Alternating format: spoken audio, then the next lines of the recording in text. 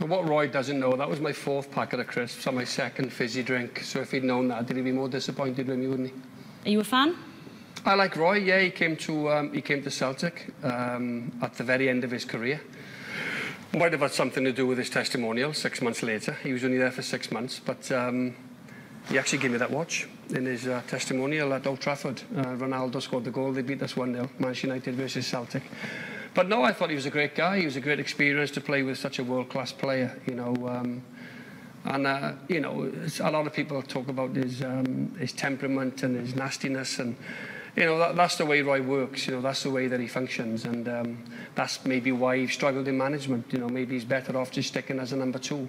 You know, because when you're in charge you know, when you're a player, you're okay, you can do that. And I think he was given carte blanche under Sir Alex Ferguson to dig a few of the Manchester United players out. When you go into management, I think you've got to be a little bit, you've got to know how to speak to people, you've got to know how to get, gain respect of people. So maybe that's why Roy is, um, is, is assisting at uh, Republic of Ireland under Martin O'Neill and also, and also at Aston Villa under Paul Lambert, my ex-captain at, uh, at uh, Celtic. So maybe Roy should stick to being an assistant what of what he's been saying in his book, not just about yourself, but about other players as well? Well, he's warts and all, isn't he? He's, he's gold. He's gold for the press. You know, he's, uh, he's very honest. He, they loved him at ITV. They were paying him 10 times more than what they pay anybody else because they know that Roy would come out and say things. You know, and a lot of people in the media, they say a lot without really saying anything.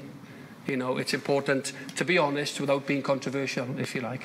And uh, I'm sure Roy goes home at night and he can, he can sleep like a baby. And when his head goes on the pillow, he can look himself in the mirror and say, well, I was honest. And there's a lot of people in the media that can't say that.